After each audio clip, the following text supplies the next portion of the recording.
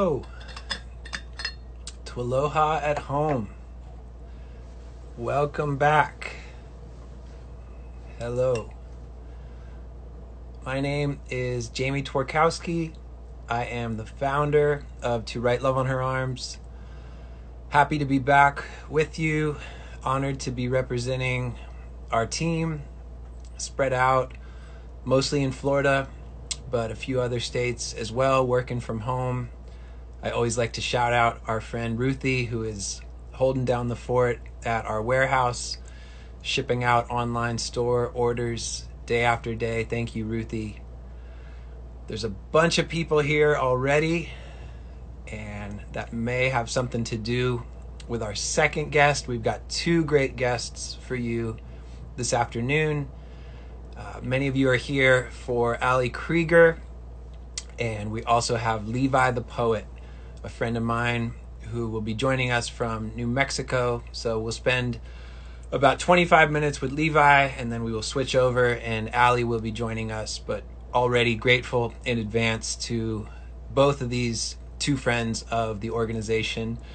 Before we bring on Levi, just wanted to share a couple announcements. Uh, last Saturday was our eighth annual Run for It 5K. We wondered if we might have to cancel the event altogether we obviously had to cancel the physical gathering in Florida, but we were able to still offer a virtual aspect uh, that people could run or walk, participate no matter where they are in the United States, in the world. And I am proud to report that we had more than 4,000 people participate.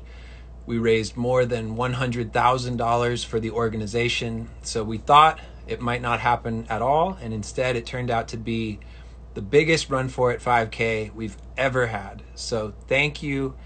If any of you are watching and you participated, uh, we would love to see a comment from you. One thing I, I love to always ask is uh, if you want to share where you are, uh, where you are in the world. It's it's really cool. It's really special to see where people tune in from, and it's not just a conversation for the guests and myself, but we love hearing from you.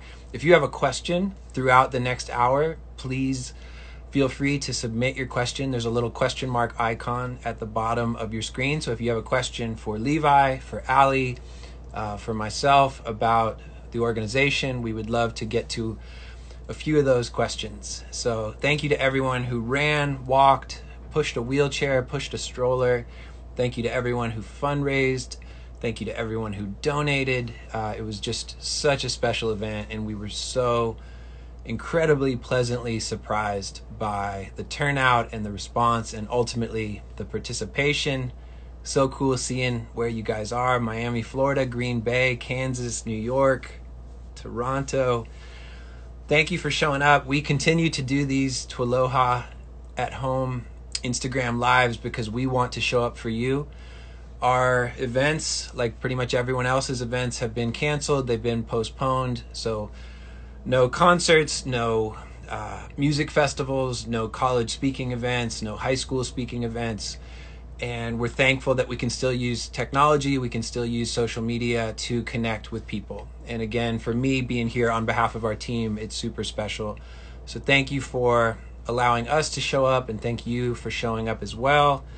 Uh, a couple more announcements. Our next TWLOHA at Home will be next Tuesday, which is the 26th, 26th of May. Uh, my friend Chad Moses from our team will be hosting, and our special guest will be Justin Furstenfeld uh, from Blue October. And so Chad and Justin are longtime friends. They will be having a conversation. Blue October has, uh, or I'm sorry, Justin has a documentary coming out called Get Back Up uh, about his journey through addiction and sobriety. And I'm excited to watch and listen as Chad and Justin reconnect. And we're excited to be able to share that conversation with you. Uh, and then I'll be actually participating in two other uh, live chats on Thursday, the 27th, or sorry, sorry, Wednesday, the 27th.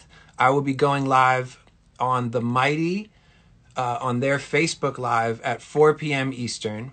So that's next Wednesday, May 27th, 4 p.m. Eastern with the Mighty.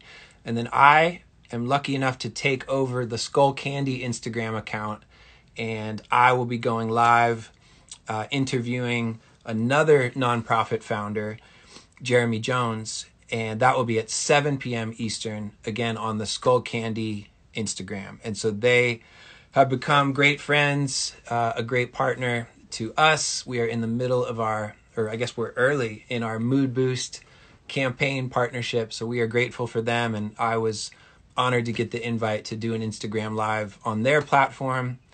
We have new coloring book pages on the Fear Won't Win landing page. Those have been a hit, so we are glad to share some new ones with you. We love seeing when you uh, color those in and get creative and share them. There's a new podcast with Renee Yohe. Uh, it's our Hope Remains podcast that is out now.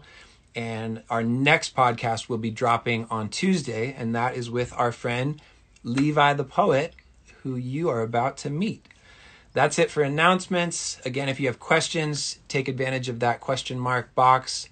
Going to bring on Levi, spend some time with him, and then we will switch over to Ali Krieger.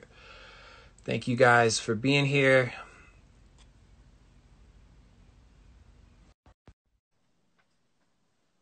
Levi's coming on. Gracie is barking. Hey, my man. What's up, man? How's it going? It's good to see you. Good to see you too. Um, I'm turning you up a little bit. All right. Is your dog better behaved than my dog? Oh, sometimes. Here, you need to see the dog? Please. Yeah. All right. Let's get the dog in here. It's not just me. Other people may want yeah, to see the dog. I know. Uh, Nice little What is the dog's name? Francis. Yes. Yeah. That's so. Look Hey, at dude. Francis. It is, Look, you're live. buddy. He's Francis is awesome. Yeah, man. He's a good dog. Brandy got him for me as a surprise anniversary present just a little bit over a year ago. And That is such a bold gift. It is such a cool gift. I know. I know. We we talked about it for a while, and uh, yeah, all of a sudden I I got this letter from her that said, "Hey, I." I, I got you a dog. We were like driving to somewhere I didn't know, and then we turned into this lady's place, and all of a sudden I get to choose from all these puppies. So it was No beautiful. way. Yeah, I loved it. Um, well, man, thank you for taking some time. Thank you for doing this. Thank you for wearing that T-shirt. yeah, you have to. It's good. Um, so we'll just we'll just jump right in, man. How it's obviously we're doing these because it's such a strange, hard season. Yeah. That we continue to find ourselves in, and I love just asking each each guest just first off just checking in how are you what has life been looking like but also specifically as it relates to mental health and and your self-care what has this now extended season been looking and feeling like Yeah. Um, thanks. I, you know, I, it's interesting, I think, for, and I know we discussed this before, but it, it's interesting with folks who, like me, are, are kind of already in a work from home uh, c- circumstance. Like, there's a degree to which I, I see a lot of people posting about like being kind to yourself and gentle and taking a break and and there and and then I and then I at times feel like oh man I'm just I'm like going harder or working more than ever almost you know and uh and and there, there's like a weird kind of um is this right? Is this wrong? I don't know. There, there, I I end up going back and forth in my mind about anything and everything that included. But uh you know I I am I am I feel privileged to be able to continue to, to be creative and, and I I have been plugging away at things. And some of them in some ways it's been really exciting because they've been ideas that I've had for a really long time. And it's like well there's no other distraction right now so why not shoot for the moon on some of that stuff you know? So but my but it is different. I mean obviously it's everything's different you know? Yeah. um but my wife Brandy and I are at home in Albuquerque, and um, you know they've loosened things up a little bit, so we're like seeing a little bit of people, um, and that's been really good for my heart. I'm really extroverted, and I try to do things like this often with people or zooming along with the rest of the world. So, um, yeah, man, I helps to have the dog to go on walks with. I do that every morning and started that during this quarantine. I'll go out for quite a while, and that's been really good for my mental health. And um, I'm glad for those things. Yeah. Are there any? It sounds like you haven't had as steep of a learning curve as maybe other people in terms of adjusting to this yeah. time, but uh, kind of along the lines of a walk or taking breaks are there any rhythms that have kind of surprised you that have felt good or just things you've been maybe learning or experiencing in this time yeah i mean certainly those things have been really good for me um, my wife's a, a, crossfit coach and she's a, a lot more active uh, than i tend to be and so i've been trying to to to uh, be more active with her and and that's been nice. I think um, I think that I have been trying to remember that not everybody especially I think within my sphere of influence and maybe because of some of the similar kinds of things that you and I have spent a lot of our lives talking about I'm I'm sort of like hyper aware of the folks who are following my world and and really wanting to be attentive to them. So I think in terms of practice I've I've tried really hard to pour into um, you know, like I, have got a Patreon community like every other artist, you know, and I've, I've like tried to, I've tried to do things that like we'll do like movie nights and we'll do, we'll, we'll do like virtual co-working streams so that people can just feel like they're not just by them. I mean, they're, they're, we're all alone together inside of this like world. And so that's been good. And, and, and I've been a lot I've been able to be a lot more organized in in life I think which has helped me not feel so insane too and and and organize things in such a way that I can I hope bring some sense of peace or togetherness to the folks who are paying attention to what I'm trying to do you know? Do you mean do you feel like you've been more organized? Yeah in, I mean in some ways I, I just think I've I've tried I've never been I've kind of always been I've I've at least always felt disorganized or kind of all over the place. And so I connected those two things because since I'm trying to invite more people into a sense of togetherness, I need to be like I, have got like a running calendar for people to be able to go to and see now so that they can be like, all right, well, I want to participate here and not here. And so I, it, it's more like that. It's more like it's just kind of like force me to get a few things together in order to try to facilitate these communities that I feel like I'm trying to create. Yeah, I feel like Fraction, even from a little bit of a distance, I feel like it's been such a special thing, not only for the people involved, the people that choose to follow and support you, but it, I feel like for you, I wonder if you could share a little bit of what what that community is and maybe what has surprised you. Yeah.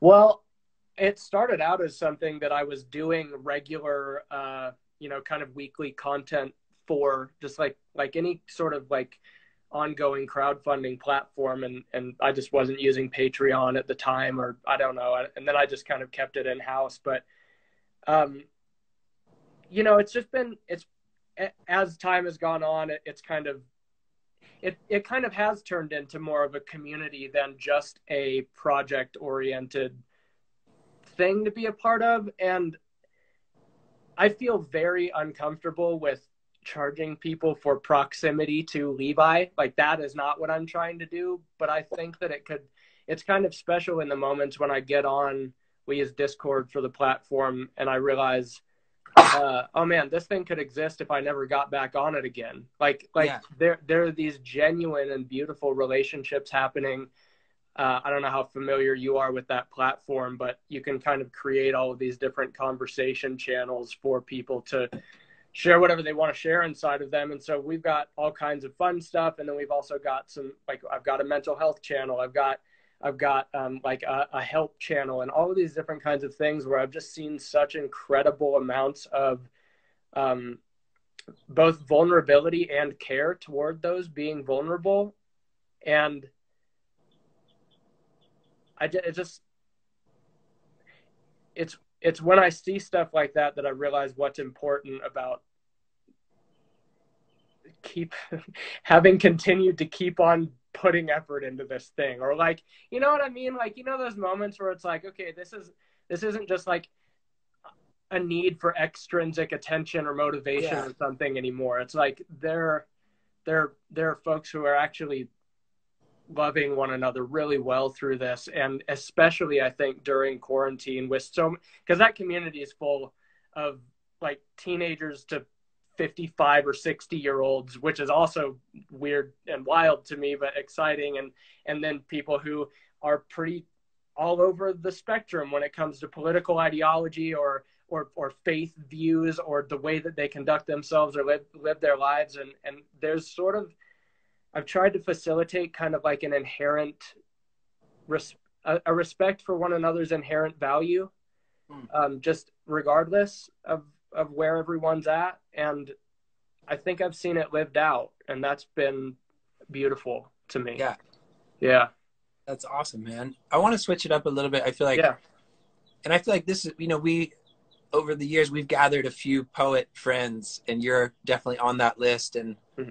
And I guess this makes sense, but I feel like with everyone uh, that we've gotten to know, Anis Mojgani, Mm. Sierra DeMulder, Tonya Ingram, you, um, vulnerability stands out. Honesty stands out. And I guess it makes sense. If you're going to be a poet that lands on our radar, there's a vulnerability that's going to come with that. And I feel like we and even I get asked a lot about, man, I want to be vulnerable. I don't know where to start, or I'm, I, I want to be honest, not even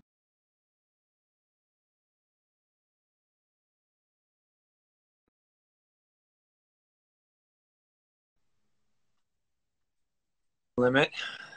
sorry you cut out was that my fault or your fault No, my screen time alert Oh, oh, oh, popped up, which is which is healthy and also just awkward. so it's okay. I shouldn't have used the word fault. Forgive me. It's no one's fault. Yeah. No, no. Um, where I was going, you know, we get we kind of get asked, how can I begin to be vulnerable? And I don't even think it it's necessarily related to creativity. It can be, Yeah. Um, but even just as it relates to our mental health, I wonder what what has that process been like of you choosing to share so much in such a public way? Did that get easier over time? Were you inspired by people who were honest about Hmm. their mental health and maybe beyond that their lives? The first thought that comes to mind is I, I grew up in love with Bright Eyes and Conor Oberst, and I loved the way that Conor wrote, and it was it always felt so raw and so um so resonant to me, even though I wasn't in the same places or coming from the same world. It was like there is a there is a, a not sugar coatedness to this guy's creations, and I I, I love them, uh, and and so when I I don't know that it's gotten easier per se. I think that I'm I think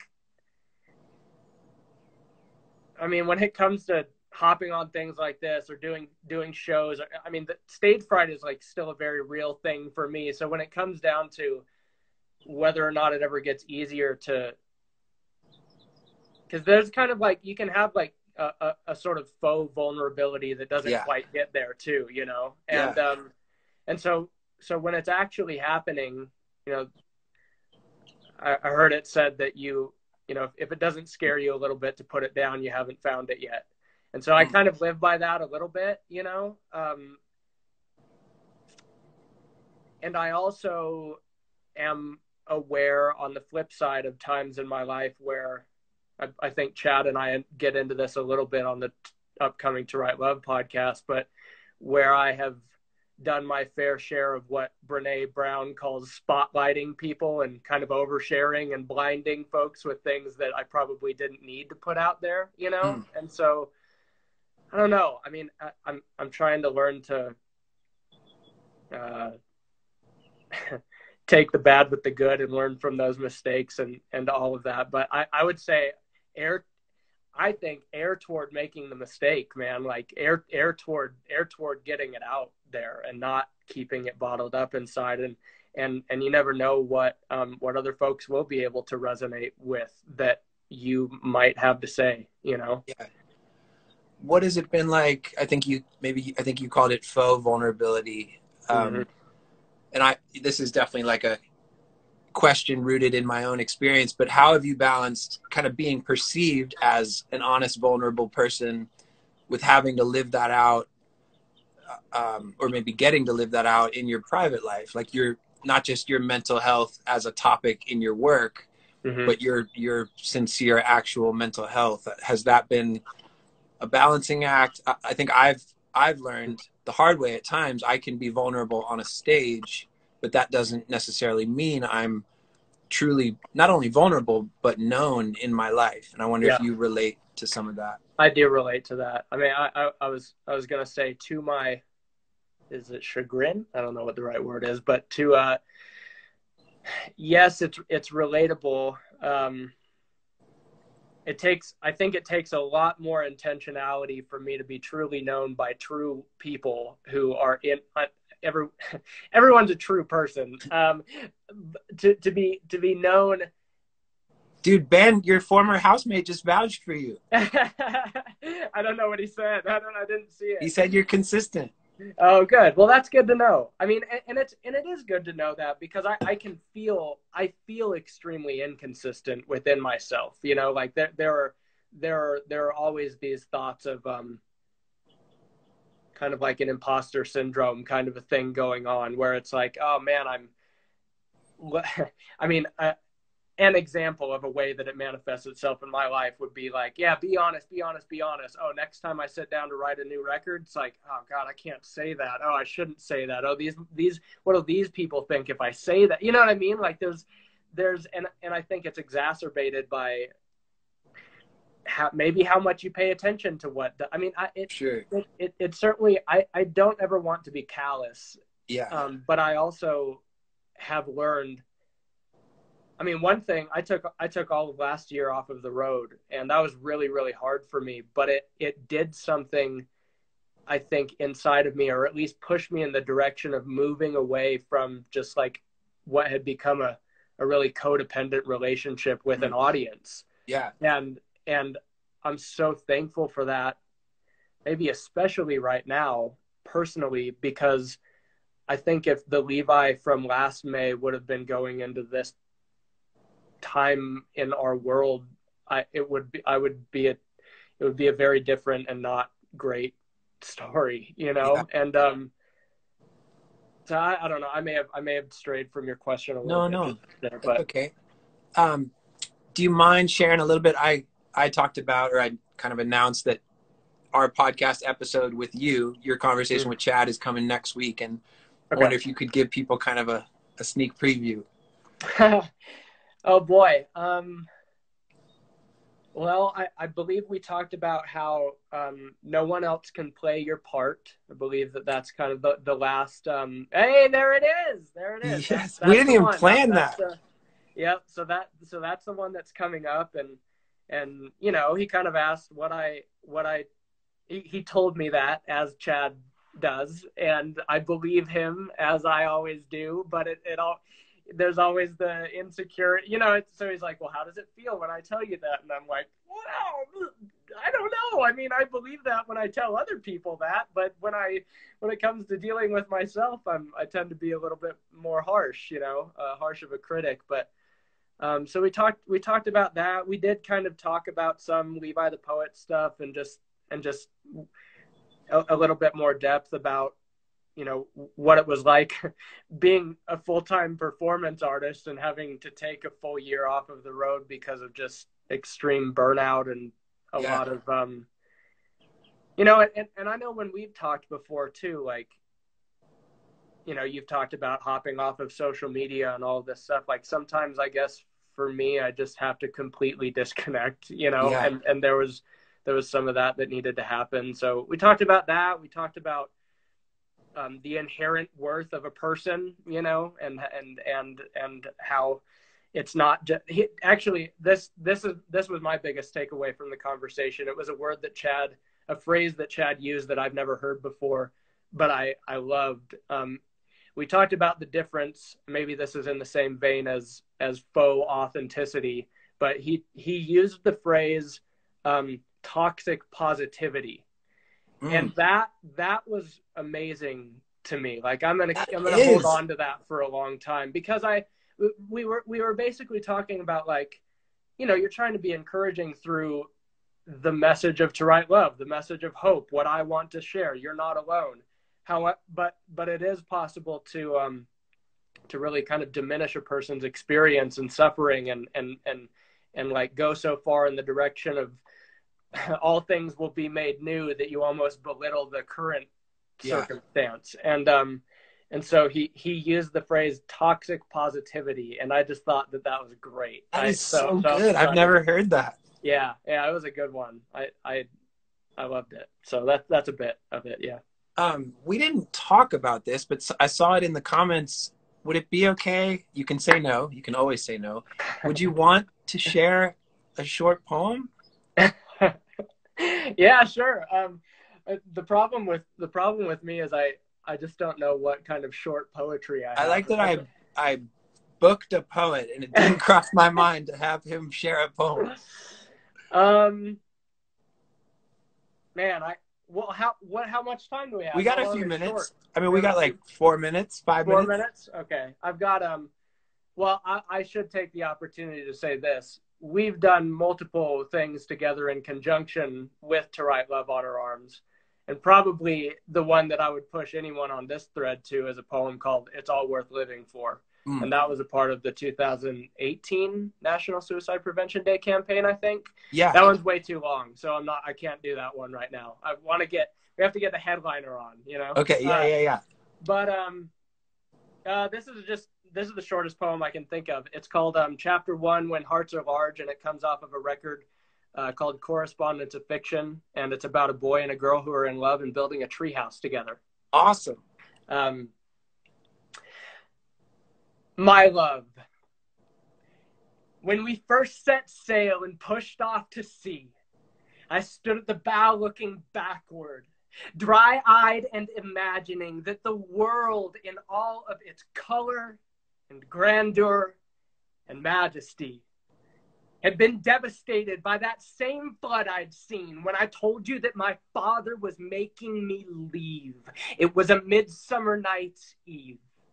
And in my heart, it was a romance.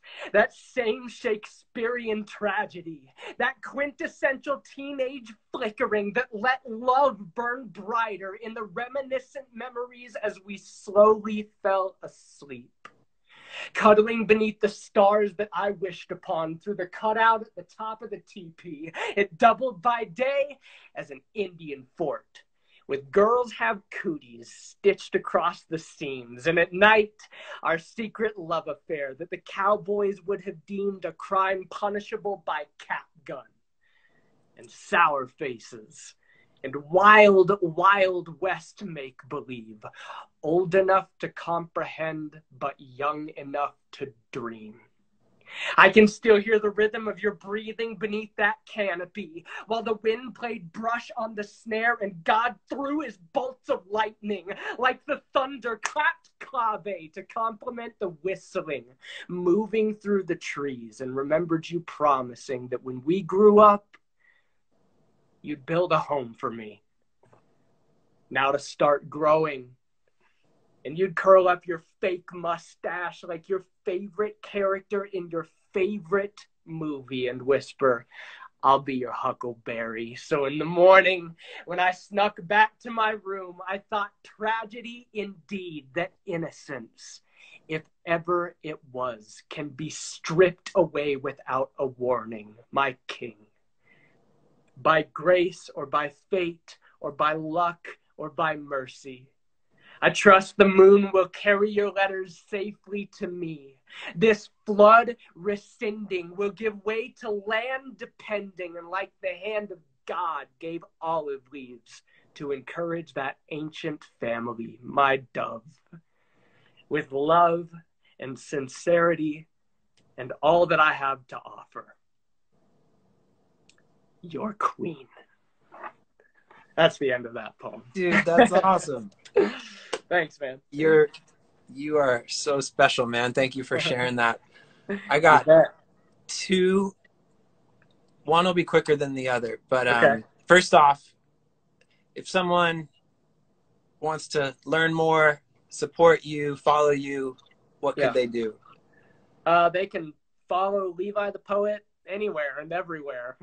Website is it's all just Levi the Poet. So go searching for Levi the Poet and you'll find it.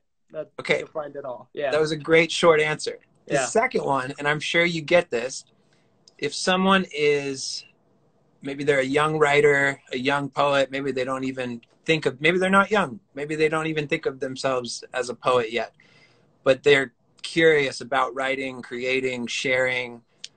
They have no audience, no platform. I wonder what advice you might give to someone.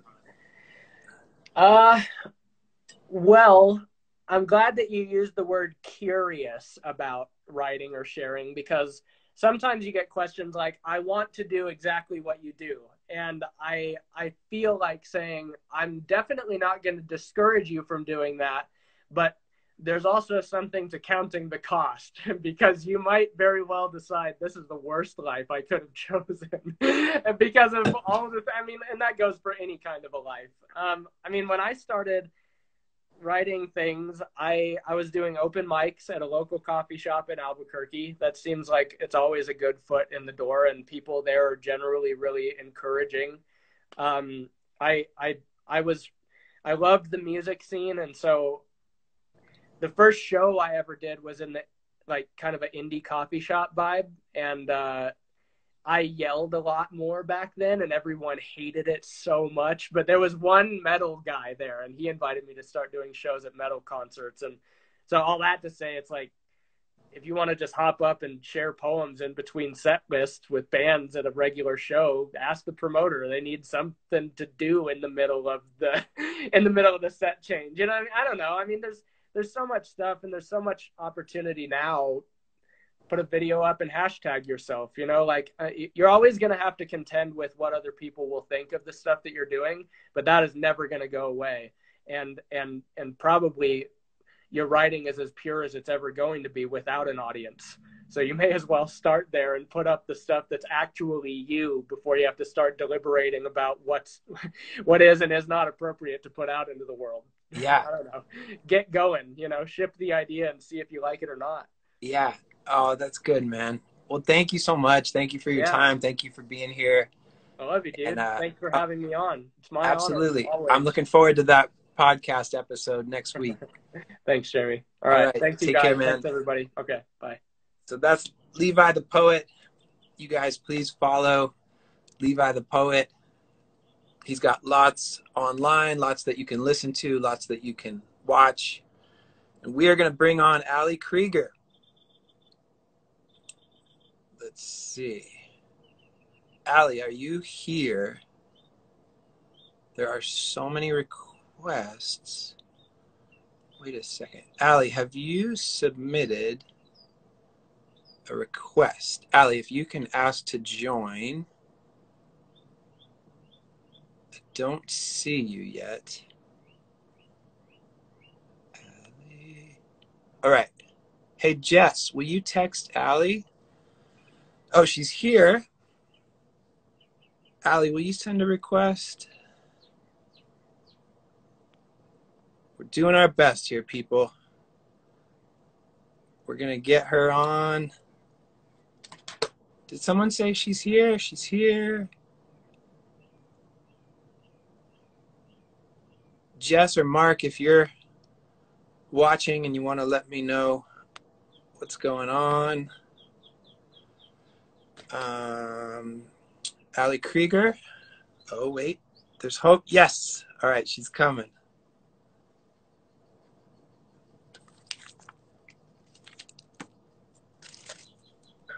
Hi, You're here. I'm here. I was watching previously, so I think that's why like the No, thing no. didn't pop up asking for a request. It's okay. I tell people, like, you know, so many people are going live, and like, I always remind people that Miley Cyrus has been having Wi Fi trouble. So it's like everyone's doing their best, you know? We're fine. Then if she's having Everyone's, trouble, everyone's, yeah, everyone's just trying to figure it out. I like your shirt. thank you. What is It's just What from a it? Pride campaign. It's super cool. Thank you for Thank you. being here and thank you for bringing lots of friends, apparently. Yeah, Um, I'm so glad they're here and so thankful to be with you guys right now. So thanks for inviting me. Oh, absolutely. You we talked earlier, so I already shared this with you, but Yeah. we, you know, I I go further back with Ashlyn, and Ashlyn has obviously been so vocal in her support of the organization, and I feel like we forget to we overlook your support sometimes. And my I'm just over here. my favorite example of that is when we saw you after a pride game i, I don't i guess last year and a few of the women Ash, ashlyn included had given us you know um, their us jerseys to raffle off to raise Yeah. money for the organization and you just politely quietly mentioned you're like hey guys i i, I would have given you mine Yeah, just like And- let me know if you so- need an extra. yeah. So I feel like you you've quietly supported us.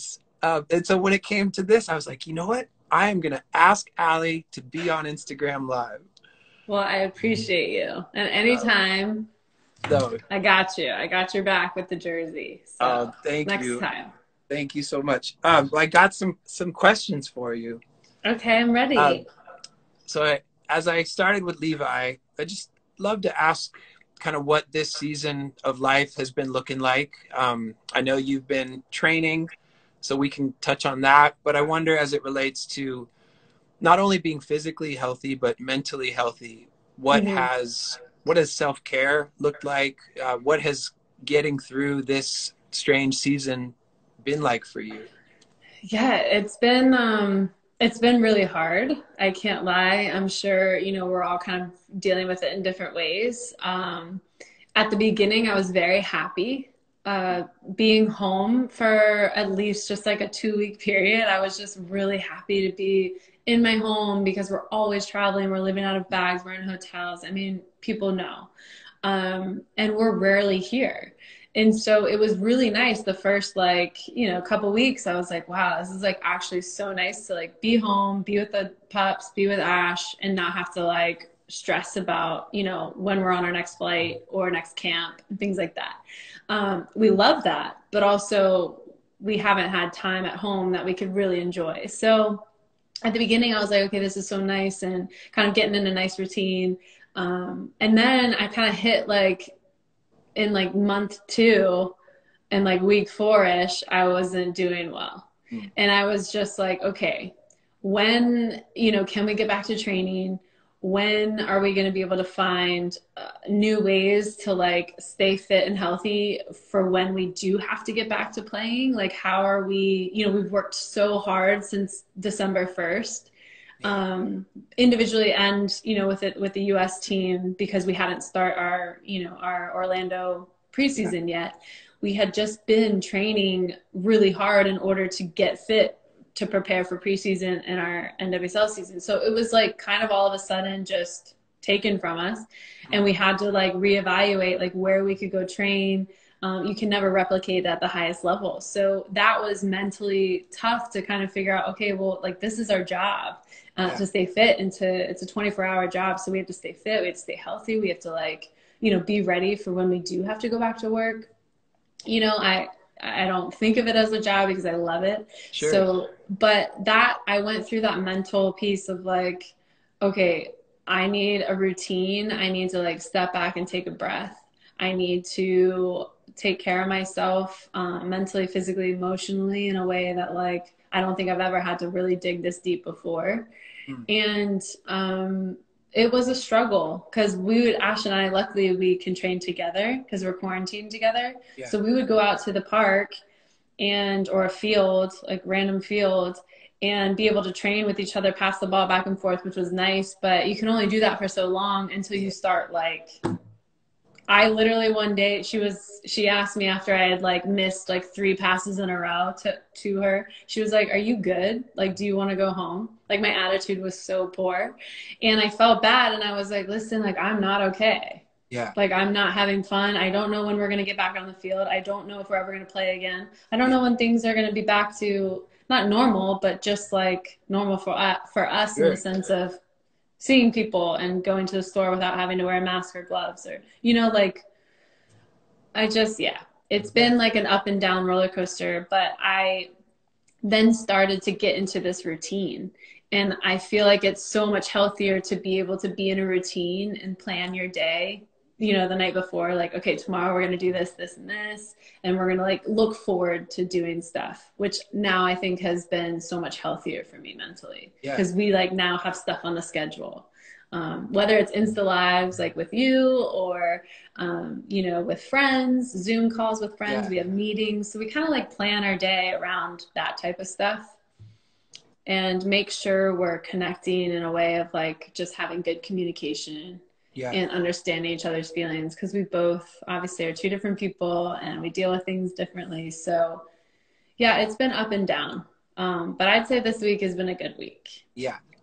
So you touched on Ashlyn was there for you when your attitude was poor. Oh for, my god! For people who follow you guys, um, yeah. they they may have seen that this has this training has not been super fun all the time for Ashlyn. Oh man. So I, uh, I know we I know it's easy to joke about, but what has it been like? Like I know you're training individually, but with the pride. Is that accurate? Yeah, yeah. So, so we that, have like different quadrants on the yeah. field that we can train in, but luckily Ash and I are able to be, you know, in the same quadrant or the same half of yeah. the field because has it has together. that been way better? Is it still frustrating? What's that been like? It's really frustrating for Ash. I don't mean to laugh, but I love her videos because that's her and that's how raw and honest she is. And everyone can see that. And she's just so motivated to want to be the best and you see that in the videos like if something goes wrong she's just like i need to be better and i need to clean this up and but like we're all even when we're in the middle of like a worldwide pandemic and worldwide crisis like you know we're still trying to get better yeah at, you know our job and i think it's just providing us with a little comedy relief i think for everyone as well um, because we all go through it and we're all in this together and we're yeah. all you know, even if it's struggling, we're struggling together and we're supporting each other. So that's kind of like what it's been like. And we're doing the best we can. We're individually working our butts off on the field yeah. to, you know, be ready for whenever we're going to get back out there together. And I know hopefully next week we're somewhat focusing on getting into phase two, which is like mm. small group training. So if that goes well, you know, we'll hopefully continue to move down the road. But um, yeah, it's been really enjoyable to train with her and and you know see Wait, that exciting. You, told me earlier moments. You're the only one who's allowed to kick the ball to her, right?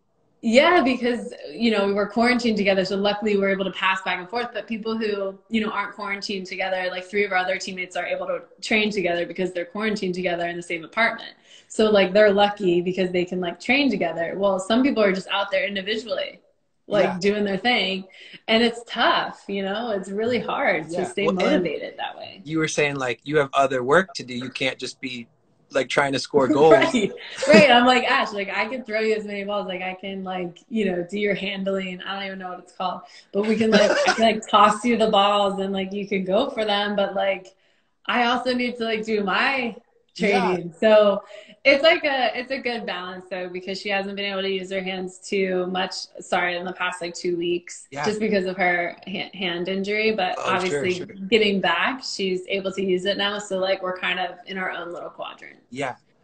Yeah. Um kind of a different different uh subject but maybe relates. Um obviously like we've been isolated or more isolated. I know you've been with ashlyn um, yeah. But what has it been like uh, connecting with family, friends, now teammates? Um, has that been a process? Have, has has that been something that you've really been leaning into and appreciating, or what has that mm-hmm. looked like for you? Honestly, like I I think I've talked to my friends um, so much more now that we've been quarantined than I ever have before. And like we've connected in a way that I've missed so much. And I feel so grateful and thankful that I'm able to do that now. So I feel like, you know, amongst how frustrating and crazy this has been the past few months, I've reconnected with my friends and family like I've never had before. And I've never felt as close. Mm. And so I'm really grateful for that. And that's something that's so positive coming out of this experience. Um, and every Thursday night we have a happy hour at 7 p.m. on a Zoom call with my friends from home um, and their partners um, or wives. So it's really enjoyable. We just kind of like are able to like let loose and like you know catch up with everyone, make sure everyone's doing okay, and just whether it's good or bad, just kind of talk everything out and have a few laughs and pretend like we're you know at our normal happy hour at home yeah. So it's been great. And like Ash will pop in and say hi um, at times. So it's really, really good. And I think that's something that I can say is so positive about yeah. right now. Have you, are you going to keep going live with Heather O'Reilly? Yeah. We're trying to do like bi weekly because we're just so, like, literally, I feel like I'm not busy, but I'm busy. Yeah. Um, and so is she. And she's, you know, obviously, um, due soon, I think, um, with her baby boy, which is so exciting. So I think we're gonna have to like, yeah, you know, figure that out. But um, I'm, yeah, we love it because it's just like a good time to catch up and to kind of take your mind away from normal day to day things. Yeah. Yeah. Uh, one of my favorite things when we had Ashlyn on, I guess about a month ago, it was really cool to ask her about your wedding and yeah. to kind of hear her reflect. And so I wanted to do that with you. I, I part of why I love it is I got to experience it. I got to yes. be there, and it was just magical and amazing. And I don't know how anything will compare to it. But I wonder, I as the you know months have gone by, um, just what what does it feel like now? What stands out about that night for you? Um, I think what stands out is walking up those stairs at the ceremony for the first time and seeing all of our closest friends and family that mean the world to us that you know because it was such an intimate moment that we you know had invited just like the people in our lives that really mean mean the absolute most to us and um, who we have such great connections with. And i feel like that just took my breath away because everyone is in one place for you. And they want to support you and they're showing their love and they're showing that they care about you and obviously ash. And and you know whoever your uh, partner is or spouse is at the at, at that moment. So it's it's it's such a joy a joyful experience walking up there and and you know we kind of made our entrance and just seeing everyone's faces. Um, that to me was something that I will never forget. And it's such a good feeling to this day because everyone's there one time in your life, really, just for you to celebrate your love and your commitment to each other. And that's something that has been really um, incredible, like such a happy feeling for me, and, yeah. and probably the best memory that I have. Ashlyn shared, she said a word that I it surprised me, but I it, it was also really powerful. But she used a bunch of words that she felt like um, people got to show up and recognize and share, and one of those was pain. Yeah. And I feel like you don't, you wouldn't often equate that or imagine that. You wouldn't imagine a wedding uh, right. uh, being the right setting for that, but it was right. so real and raw and beautiful. And I think about your brother's speech and yeah, your dad throwing his cane on the dance floor. yeah. And I wonder if you could could talk a little bit about what it meant even for you with your family. Yeah, it meant so much that both of my parents were able to be there. Obviously, I know, you know, people uh, remember my dad having that bad accident in August. And so something that really um, was meaningful for me is that he was actually able to be present because we weren't sure if he'd be able to make it there. So that was something that was so um, so great for me to have him, you know, have his support. And um, my mom there at the same time. They've obviously been, you know, divorced for quite some time, but to have them stand next to each other and walk with each other down the aisle was really um, something that I had hoped for and that had happened. And that was just so refreshing for me. And it just made everything kind of go at ease um, I feel like we've come a long way as a family, and um, that was just so nice to share with them that experience and how happy they seemed in that moment as well. So I was so lucky my dad was there. He, all he cared about was the first dance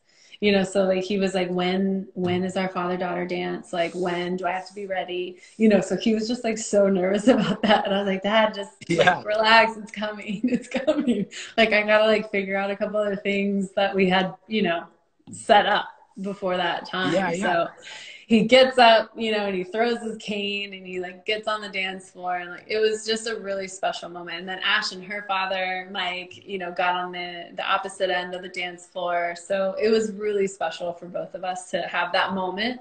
Um, a bit yeah. traditional, but um, we wanted to share that with them. So yeah, it was just um, such an amazing celebration of hope, happiness, also pain and that it's mm. okay to have these struggles throughout your life, but then you have beautiful, happy endings. Um, and that uh, it's okay to not be okay all the time, but with the love and support of your friends and family um, and for yourself, you can accomplish beautiful things. Yeah. Um, I know we could probably talk for two yeah. hours about your brother. Oh and I know gosh, for me, I, I mean, I feel like his speech that night is one of it, it's like one of the best things I've ever experienced in my life, you know? Yeah, it was and, um, incredible. Um, and, and it was so raw and so real. And um, I wonder if you could just talk a little bit about maybe that, like for you hearing, watching and hearing him speak and, and just your yeah. relationship. Yeah, I love my brother so much. We've been through so much together. Um, even growing up that a lot of people don't know and um, that's what has brought us so close over the years. Of course when we were younger we'd have our fights and you know things like that. But um, you know getting to like have an experience of when your parents get divorced you come together. I'm so glad that that's the direction that we took because you can easily you know separate and just go um, kind of like your own ways and and kind of create your own path but we created a path together and we shared our struggle with each other and our pain with each other through that time so i think that had just gave us a beautiful foundation um, to have a strong relationship a brother sister relationship and i lean on him for I mean, I lean on him for almost everything. Um, you know, he's one of my first phone calls uh, after Ash. So uh, we both do. So it's it's nice to have him in my corner constantly and supporting us and supporting me. And he's been there since day one. Um, when my uh, yeah, when maybe some of my family members weren't. So it's a great relationship that we have, and for ha- to have him speak at the wedding and kind of share his like personal stories along with you know uh, me and Ash and how he like met her and then saw this whole relationship develop that's something that um, was really nice to hear and to have him say that. I was like in tears the whole time.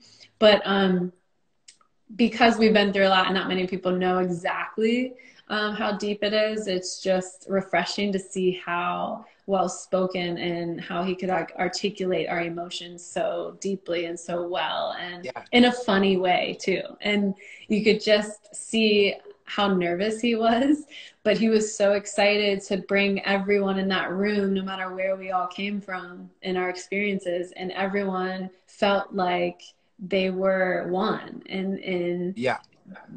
I just thought that was really cool that he just had this aura about him that that brought everyone together and that yeah. he wanted to just speak about happiness and mm-hmm. hope mm. and life and that was really cool oh no it was like I, I was like getting choked up just remembering because it was so yeah. special mm-hmm. um i know i know it's been a big transition um i know for years publicly people wondered if you guys were together right? You and Ash. Yeah. And now mm-hmm. it's very clear that you guys are together.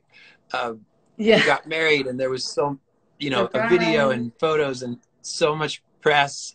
Yeah. And I wonder what has, and I know your attention isn't new for you. Like you've com- mm-hmm. competed at the highest level for years, but I wonder what has taken that on. Um, so not just taking on attention for soccer, but choosing to share your relationship in such a public way and I know it just seems like every every few days there's like a new huge story Yeah. um, about you guys, and I wonder what has that been like? Has it been awesome? Has it been hard? It's been awesome and hard. Obviously, I'm somewhat of a private person. I don't think you would realize that. It's like now you see us like shouting from the rooftops, and which is also so exciting and great. And I want people to feel the love that we have and um, feel feel safe and um, and happy uh, with us sharing our life. And um, but I'm also like so, somewhat of a private person, so that was really hard for me, and that's why I feel like um, not that I was hiding our relationship, but just I don't know if that was like I was ready to open up and be vulnerable to that many people. So it was kind of that decision that was holding me back um, because I do at the end of the day just want to share um, my relationship and private life with Ash and my family. And so it's really hard to kind of be that open person all of a sudden and be out in this Yeah. public as a public figure and, you know, just share everything and like people know like when I'm going to the bathroom. It's like, you know, it's like I wasn't ready Yeah. for that really. Um, so I needed to just kind of take some time to think about how we were going to do this. And now I, I'm so grateful and thankful because I'm, you know, getting messages from so many fans and supporters that they say, like, listen, you're saving my life. And um, I'm so inspired by you guys um, just being authentically yourselves and living your life and the, the way that you're living it and sharing it with the world. And, you know, I just think this was normal all along to, you know, be in, in a same sex relationship and just be with a person that you absolutely love and adore. And, you know, she's my best friend and my partner in life and my wife now. And it's just something that I never really thought was like not normal. If I can, Yeah. I don't know if that makes sense. So Sure. it was made, it was more new to me to share my life no matter who I'm with rather than actually Yeah. share it just with her. So does, does that Yeah. make sense? Yeah, so yeah, like yeah. but Sure. now we're so grateful and happy and thankful because we're saving people's lives honestly and Yeah. we get messages like that and it brings me to be just so emotional but like happy because if i can do that like i'm willing to share everything Yeah. And I feel like I think that was something Kyle said in his speech that night that you guys were going to do that. Like I remember you had um, the names of LGBT trailblazers at each table, right? yeah that was And so I, cool I feel like it was someone, Megan or Kyle, that that kind of said like, you guys, you guys are going to be like these people, and you're going to make it easier for other people. Yeah, and I that's love something that that's so comforting to for us.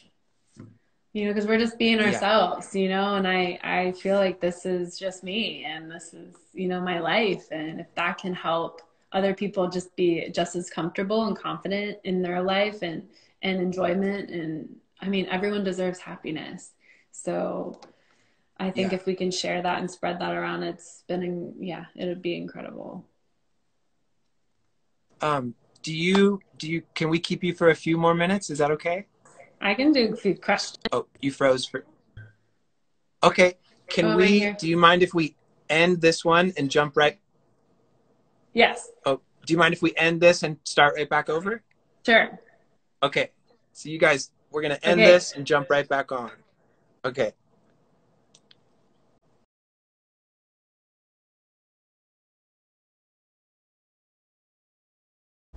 All right. Sorry, you guys. That that took a minute. Thank you for coming back. I'm gonna bring Ali back on. Okay.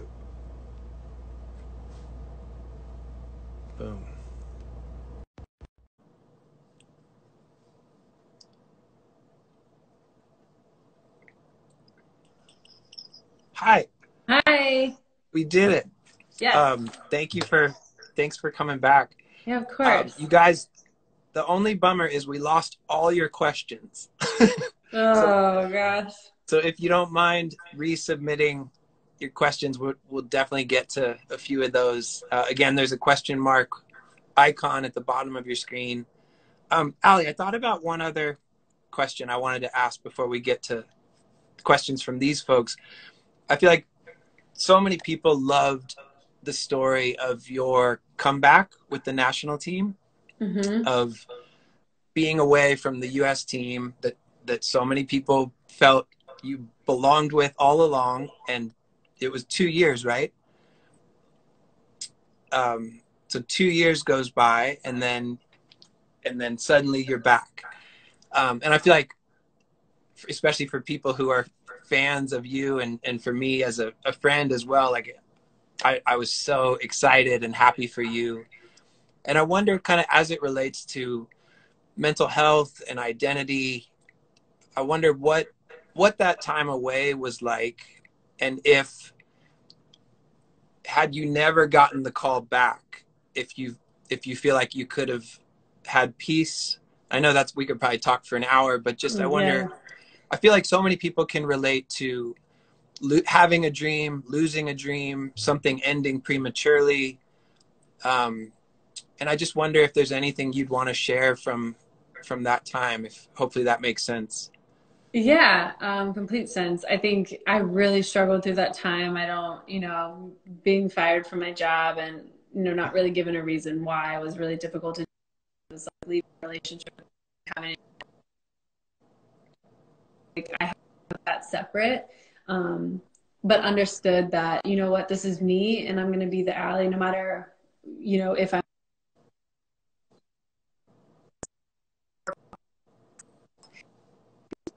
Oh,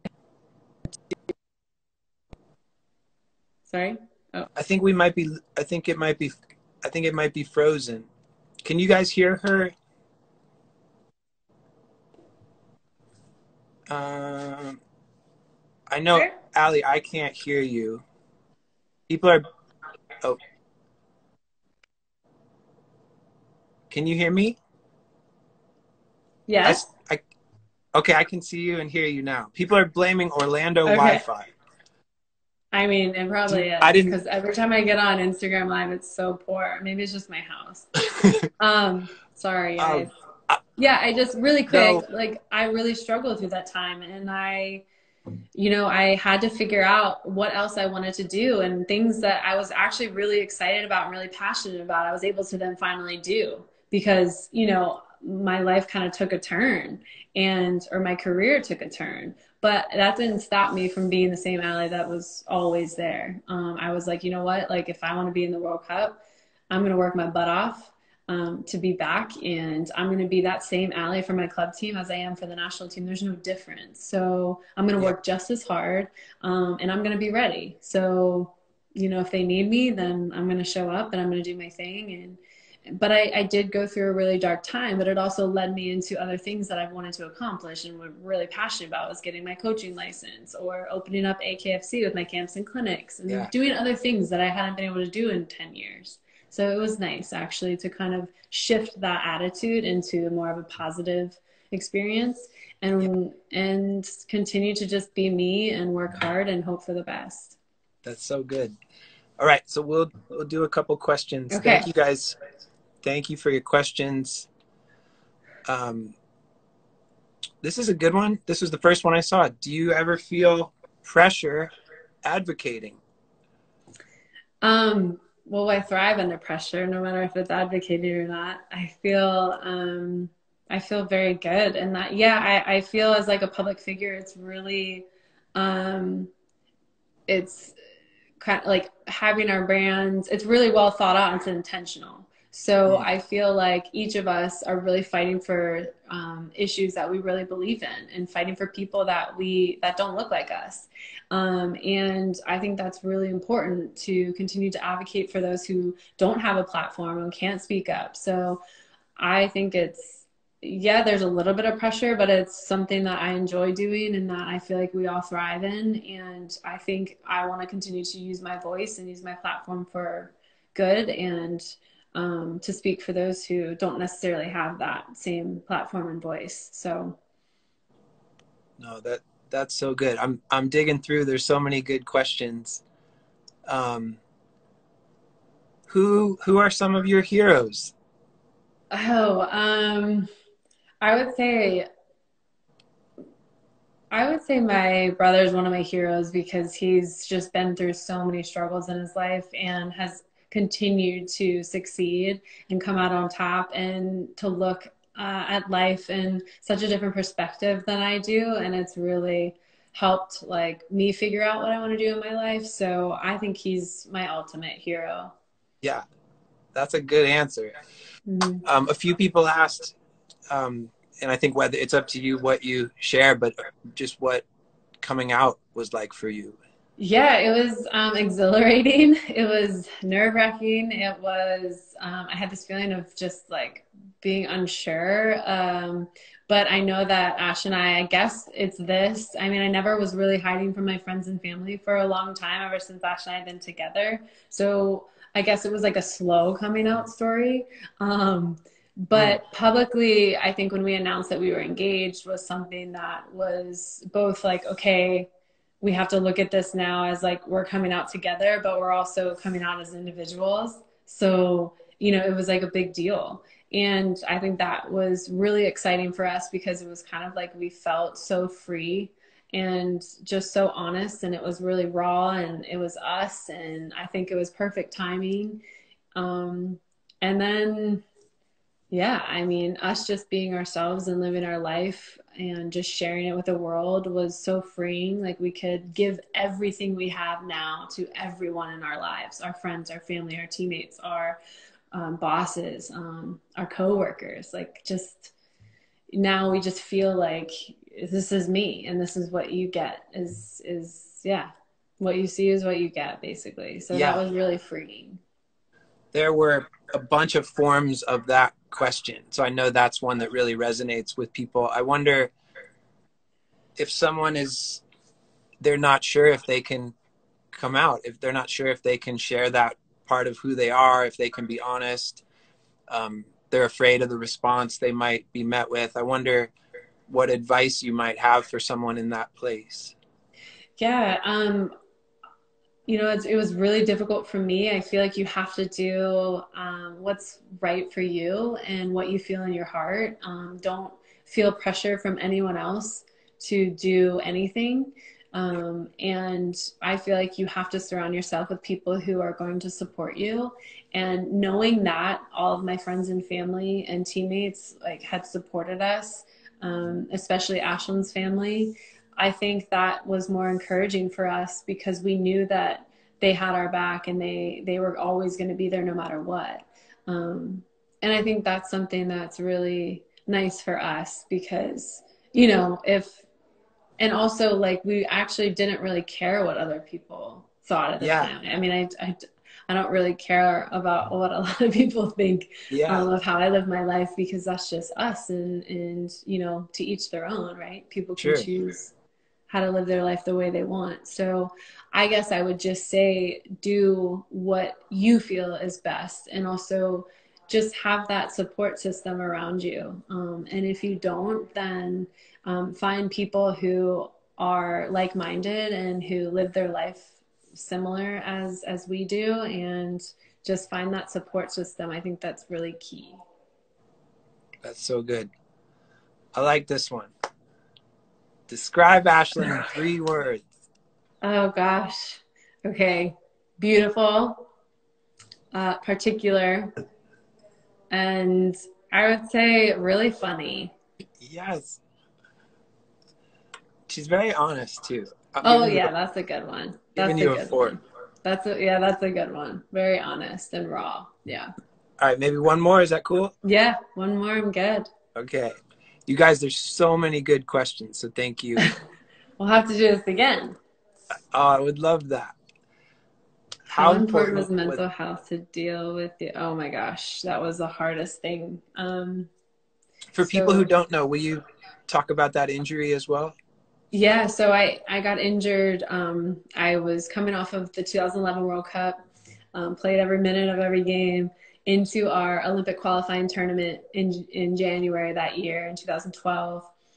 Um, we were beating this team seven nothing, and uh, right before the second half, which I think I was going to come out a couple minutes um, before that, and right as I, I shot the ball and unfortunately I just got tackled and one of the opponents kicked my knee in. And so I tore my ACL, meniscus, uh, MCL at the time. And I immediately was just so unsure of the future and so unsure of my career and just really, really upset. But obviously, try to see the good in everything and understood, okay, you know, this isn't this isn't my time, but I will be back. And I just had to kind of go through this process mentally of like, all right, I need to do everything I can now to get back to the game that I love and to get back on my feet uh, first and foremost. And and then we just take one day at a time. At that time, I felt like, all right, uh, I'm just going to do one thing every single day that's going to make me better, um, both as a person and in order to get back out on the field. So I try to then take the negative and think and turn it into a positive, um, and really focus on my recovery because I had to plan out I you know if I wanted to get back or not, and if I wanted to play at the highest level again, it was going to take like a nine to five job in the re- rehab center that I had to go to. So I went back to Germany at the times I was still playing there, and I went to this rehab facility from nine to five every single day and I had two sessions. And so it was like hardcore, but it was mentally draining because I wasn't around the team that much. Um, I was, you know, this was my new job to for myself to get back uh, to be with the team. So it was, you know, and I was uh, pretty much isolated because none of my friends from home were there. Obviously, I'm overseas. I'm in this new place. Uh, not new. I'd been there for five years, but you know what I mean. Like I didn't really have my family or friends around. So it was really difficult. Anyway, mentally, um, because physically I could do, I could run all day, you know, um, emotionally and mentally it took a toll. And you go to this deep, dark place of having bad days and then you have good days. And then, um, one thing that was really crucial during that time was just taking one day at a time and focusing on what you could control. And that was my attitude and my work ethic. And that's really what got me back. And I didn't put like an end date on anything. I didn't stress myself on that. I was like, listen, I'm going to do this the way that I need to do it and the way my body's going to do it because everyone's different and everyone handles injury different. So there wasn't really an end date. Um, but I ended up missing the Olympics and I was just devastated um, because they won the gold medal that year. Yeah. so um, I missed out on that. And that's why, you know, I'm pushing to get a medal at the Olympics. And now, obviously, the virus hit and it's extended for next summer. And I'm just like, oh my gosh. So I am hanging on, you guys. I'm hanging on the best yeah. I can. But yeah, it was a tough experience. Mm. Thank you for sharing that. We someone popped up, someone made an entrance, and I don't know if you've seen the comments, but your no, brother is Kyle. your brother is here. Okay. And he asked Hi, how long. Miss you. I love you he, he asked, How long is this story? of course. I take that back then, what and, I just said. And he said he can't go live with you until you get your Wi Fi fixed. Oh my God. He's like Grandma Krieger. he's like, You're going to be out there running with a cane. And like, people are going to be like, What are you doing? Well, you know what, you youngins, you better watch out. Yes. Oh, I, I love your yeah. I love that. I'm so glad he's here. You should do a live with him. Oh, I'm putting would, him on the spot. I'm all for it.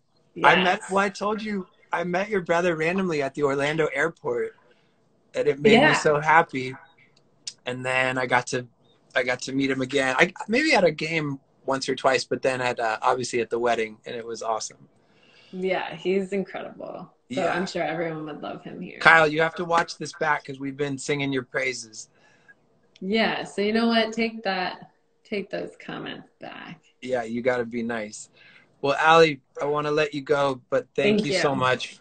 Thank you for your time. Thank you for for being here. Thank you for being so honest. And um, yeah, just thank you for sharing so much of your life and so much of your story. Um, thank you for not only supporting Ashlyn as she supports To Write Love, but but thank yeah. you for your support as well. Yes, I love you guys. And thank oh. you for being such a wonderful friend to us and so supportive of us and um, and also of us playing soccer, not just as friends, but um, oh, as athletes. It's amazing seeing you in the stands every single home game. It just means the world to us. So thank uh, you. We no, we love going, and I love bringing my family, my nephews. So it's it's Yeah. an honor. Um, will you stay safe and healthy and enjoy the rest of your day? Say hello to Ashlyn for us as well. I will. I will. Thanks, Jamie. Right. Bye, Thanks, you Ali. guys. Thank Okay. you. Bye. Bye.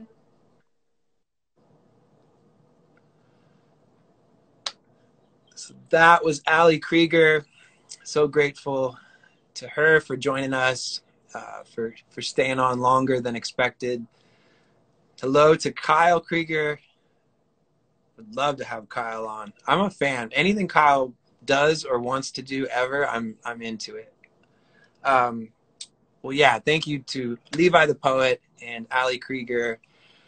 And uh, just want to remind you, the next TWLOHA at home will be Tuesday, the 26th, I believe. Chad Moses from our team will be hosting. He'll be talking to Justin from Blue October. And then I will be uh, doing two different live conversations one with the Mighty on Facebook Live, 4 p.m. Eastern next Wednesday. And then on Skullcandy on their Instagram at 7 p.m. Eastern. I will be hosting a conversation with another nonprofit founder, Jeremy Jones, um, from Protect Our Winters, and uh, was really honored and excited when Skullcandy invited me to do that. We're going to keep showing up. We're going to keep doing these. We're going to keep having conversations, doing our best to encourage you, doing our best to uh, create a space where people can feel less alone and so, thank you for being here. Thank you for your comments. Thank you for listening, watching. Thank you for your questions. Thank you to everyone who participated in our Run For It 5K.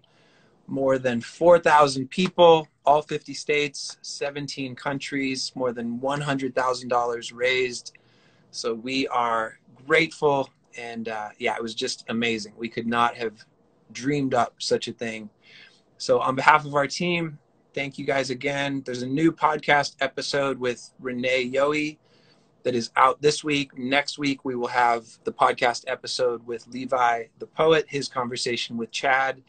That comes out on Tuesday. I think that is everything. You guys, we're going to get through this time one day at a time. Please stay healthy. Please stay safe. Take care of each other. And uh, we will see you soon. Thank you so much. Bye.